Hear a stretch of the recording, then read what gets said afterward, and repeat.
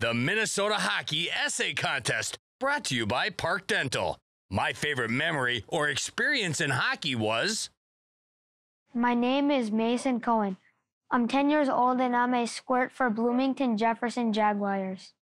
This is a hard story to tell as it is not necessarily my favorite memory because of the circumstance, but it was the experience that made it so great and a favorite memory.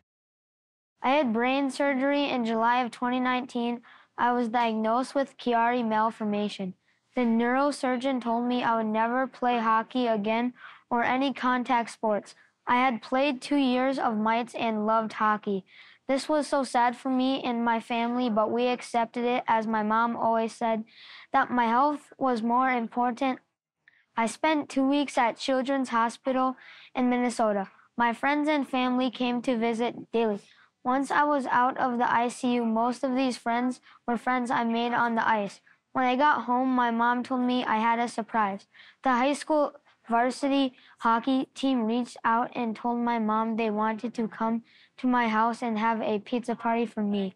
The team showed up with a lot of pizza and signed a hockey stick. The entire varsity team signed this hockey stick for me. I never met most of them, but they heard my story.